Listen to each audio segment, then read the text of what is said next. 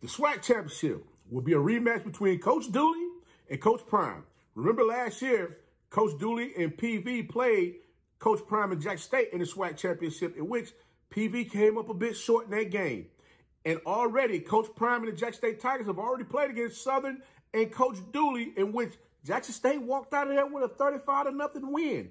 So this is going to be round number three between Coach Prime and Coach Dooley. And we already know we can expect some great things to come out this game because you got two stingy defenses as well as an offense that can come out there and put points up on the board just as quick as you can bat your eyes. And not to mention, Southern University offense ain't too bad as well. But we're going to talk about exactly how that game going to break down right after this.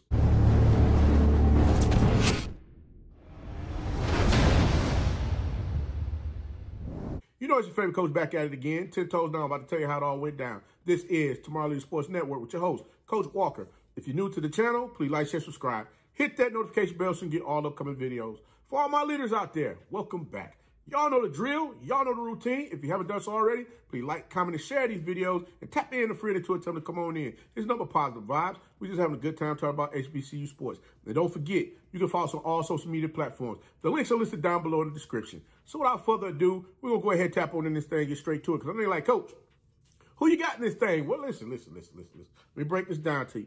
But first, before I get started, um, I want to send prayers and condolences to uh, one of my uh, one of my former players that was uh, killed uh, a couple weeks ago. Uh, they'll be burying that young man today. I went and uh, viewed his body last night, and um, it's definitely a, a, a, trying experience on Coach right now. I taught them young men how to how to tie ties. If you follow me on Facebook, I got a picture of the team at the banquet where uh, all of them had matching ties. So uh, if you want to check that out, matter of fact, I'm, I'm, I'm just going to drop the photo right here. Uh, it's the young man, up, the young man up at the top, the second one up uh, on the top row, uh, for, on the uh, left hand. Should be on your left hand side. Um, 18 years old, man, gone too soon. We got to stop the violence. It's time to put down the guns. It's time for us to think before we pull that trigger. Because this ain't like the video game where you get another man and he comes back and you get to start all over again and try to, you know, get through the game and, and win the game or whatever have you. This is life. Once you decide you want to pull that trigger and that gun go bang and it hits somebody, if it hit the wrong artery or hit a different place on that person's body, they don't come back. And this young man, 18 years old, gone too soon. But enough with that. Let's get let's get into this. Coach Coach got to get his mind back right. Let's let's let's let's get into this right now. You can't forget week eight there was several delays in the game in which Southern University and Jack State was out there trying to get that thing going on. In the end, Jack State won that game 35 to nothing. Both teams played three more games, and now it's time to settle the score to see who's going to move on Celebration Bowl championship against North Carolina Central. Southern's best offense is going to be their defense in this game. Finding a way to turn Jack State over to give their team multiple opportunities to put points up on the board. Four times during this season, Sean McCray has thrown the ball for over anywhere from 130 yards to 200 plus yards in a game. Trust and believe Coach Dooley's going to try to find a way to get that offense rolling with that passing game. Going to do something a little different to open things up for them to be able to run the ball no matter what they're looking to do against that Jack State defensive front. Now, I know a lot of you out there saying, Coach, ain't no way in the world Coach Dooley going to change up his daggone playbook. He going to stay true and blue to what he's been doing all season long. And I respectfully understand that. But you got to understand one thing as well. If Jackson State gets out early on Southern University in this game, Southern University is going to be put in a position where they're going to have to throw the ball. I honestly believe early and often, Coach is going to be looking to try to throw some flare passes out there to the running backs or run them bubble screens to the receivers or the running back to try to loosen some things up on that Jack State defense that's going to allow them to do some things on the Southern University side offense that will kind of, you know, hopefully they can kind of confuse Jack State just a little bit to continue to keep moving the ball down the field and staying ahead of those chains. Now, we would definitely see in this game the running backs for uh, Southern University, Jerodd Sims, Carl Ligon, And BeSean McCray himself, the quarterback, they're gonna run this, they're gonna run this ball in this game. We already see, we already know BeSean McCray is probably nine times out of ten going to end up being the leading rusher on the team in this game because we've seen it happen like this all season long.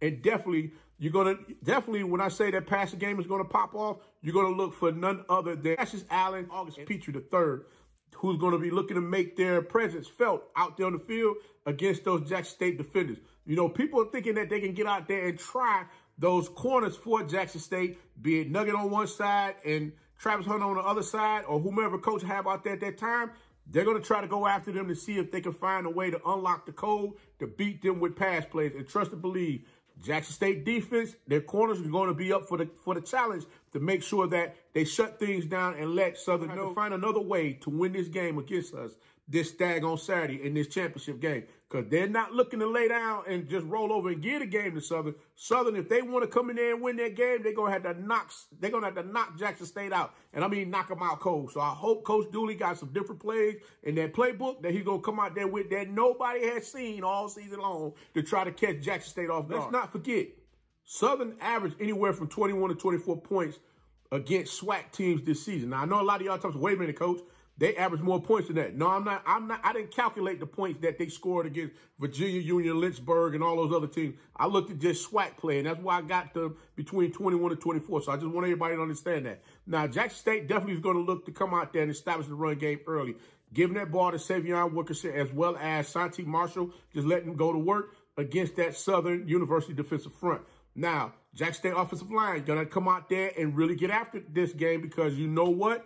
Not that bad man over there, Jason Dumas, is going to be looking to clog up them holes and shut some things down on that against that center or whomever it is that he lines up against in this game because he knows what's on the line and he's been here before.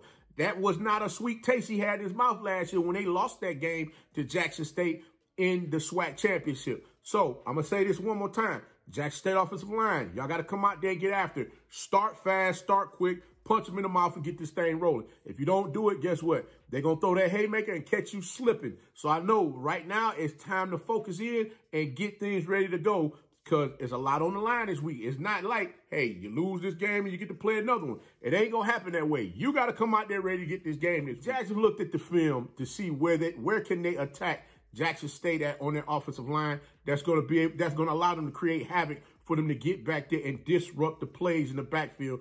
Getting that QB1, Shedeur Sanders, touching him up a little more often than what they were able to do in game one. So you already know everybody's going to be on their A game as far as with making sure they sustain their blocks and do everything that's required of them on that line of scrimmage. Now, QB1 Shedeur Sanders, he's already going to be sharp, and I believe he's going to be sharp in this game, ready to get after it and put them points up quick, fast, and often with those receivers for the Jack State Tigers football team. None other than Shane Hooks, Wideman. You got Dallas Daniels. You got Travis Hunter. You got Kevin Coleman. And all of the other receivers that that's going to come into this game, they're going to be looking to get out there to put their best foot forward, to get them chains moving, get them points on the board, get this W, and repeat as SWAC champions to go play North Carolina Central in this uh, play North Carolina Central in the celebration. Jackson State cannot afford to turn the ball over in this game, allowing Southern to have multiple opportunities. Secure the ball at all times.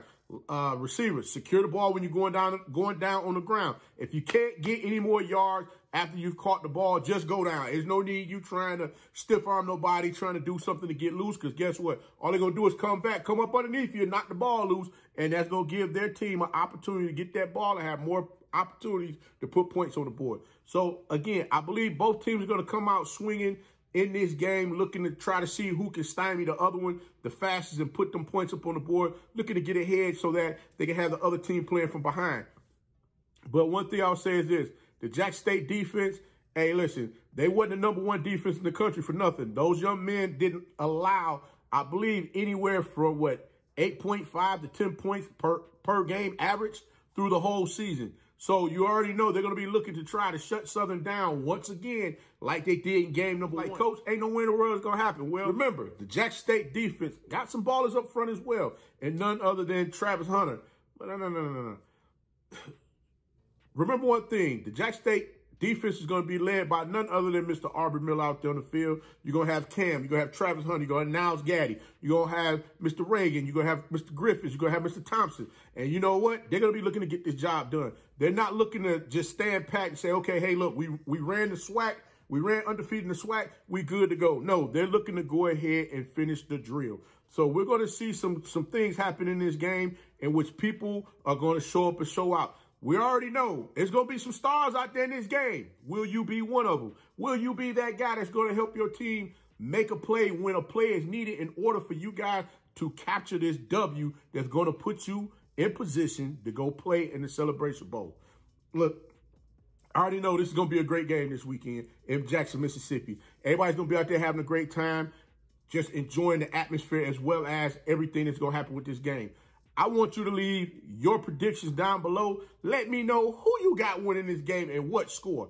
Hey, guys, I appreciate every last one of you guys for rocking with me all season long. As far as the content that I've been dropping, we ain't done. We got more coming. Like I said, Coach is bringing out some new stuff for you guys to see the different directions that we will go with this channel. But I appreciate every last one of you for rocking with me. But until next time, be the one in lead.